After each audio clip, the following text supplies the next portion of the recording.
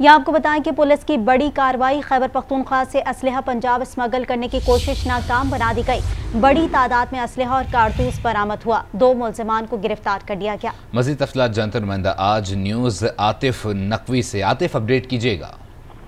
जी बिल्कुल इस तरह है कि ये अभी थोड़ी देर कल जो है वो डेरा इसमाइल खान जो खैबर पख्तूनख्वा से जो है वो पंजाब में जो है एक गाड़ी में असला स्मगल किया जा रहा था। लेकिन गुजशत काफ़ी दिनों से जो है वो बखर में सिक्योरिटी के थ्रेट के बाद जो है इंतहाई हालात जो है सिक्योरिटी टाइट की सख्त की गई थी।